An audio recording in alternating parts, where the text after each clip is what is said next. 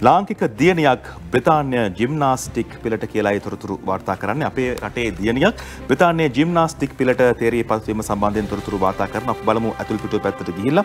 ඊට අදාළව තොරතුරු වාර්තා කරන ආකාරය.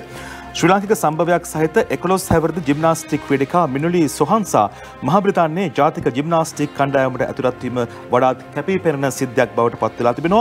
ඇය පසුගිය ජූලි මාසයේ පැවැත්වුණු බ්‍රිතාන්‍ය ජාතික ජිම්නාස්ටික් තරගාවලියේදී දැක් වූ දස්කම් සමග ජාතික ජිම්නාස්ටික් කණ්ඩායමට සුදුසුකම් ලැබූ අතර ඒ අනුව ඇය ලබන ඔක්තෝබර් මාසයේ ජර්මනියේදී පැවැත්වෙන ලෝක ජිම්නාස්ටික් තරගාවලියට බ්‍රිතාන්‍ය කණ්ඩායම නියෝජනය කරමින් සහභාගී වීමට නියමිතයි. ශ්‍රී ලංකාවේ හිටපු දක්ෂ ජිම්නාස්ටික් පුහුණුකරුවෙකු වන ගුණරත්න බණ්ඩාර මහතා ඇගේ පියාවන අතර ගුණරත්න මහතා එංගලන්ත ජිම්නාස්ටික් සමාජයක සහ ඔහුගේම පුහුණු පාසලක ජිම්නාස්ටික් පුහුණුකරුවෙකු වශයෙන් කටයුතු කරනවා.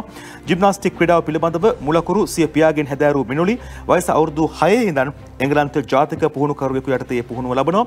ලන්ඩන් නුවර ජීවත් වන මිනුලි සොහන්සා පවසන්නේ ඇගේ ඉලක්කය ජිම්නාස්ටික් ක්‍රීඩාවෙන් ඔලිම්පික් පදක්කමක් දිනා ගන්න එක කියලා. අපි යෝධ බලය යෝධ ශක්තිය ආදරණීය දිනේට ප්‍රාර්ථනා කරනවා. ඒ වගේම අපි සුප්‍රාර්ථනා කරනවා අපි කියමු සුප්‍රාර්ථනා. That's right, uh, Nimesh. We want to congratulate her on behalf of ITN, bringing glory to our country, our small country, but we are capable of doing wonders not only in, you know, you know, just farming, fisheries, but our talents as Sri Lankans go above and beyond.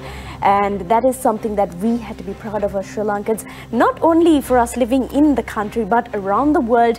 If you are a Sri Lankan, I'm sure you are extremely proud.